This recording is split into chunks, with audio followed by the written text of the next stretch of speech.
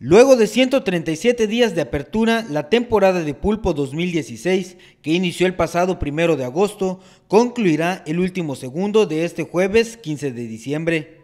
Como todos los años, la temporada estuvo llena de altibajos relacionados con diversos factores como el clima, las corrientes marinas, el movimiento del molusco y la depredación.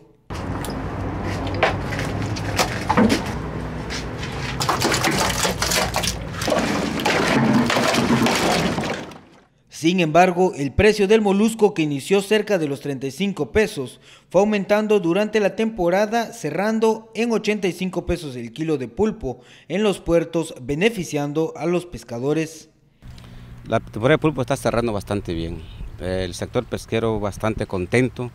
Eh, cerramos los 40-50% de captura hasta que pegó este norte hace como cinco días quizás eh, hubo un cambio de marea y, escaseó un poco, pues estaba capturando hasta los 40, 60 kilos por embarcación antes de esta mala temporada que entró. Entonces ahorita los compañeros vinieron con 20, 25, 15, entonces estamos cerrando bastante bien. El último corte con cifras oficiales, emitido por la Comisión Nacional de Acuacultura y Pesca, está fechado el 30 de noviembre.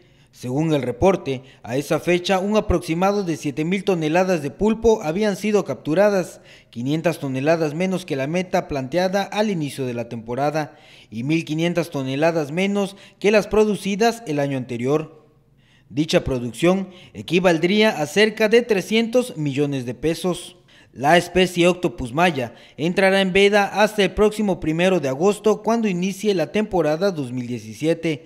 Mientras tanto, los pescadores tendrán que subsistir con pesquerías como la de escama, licera, cazón y caracol.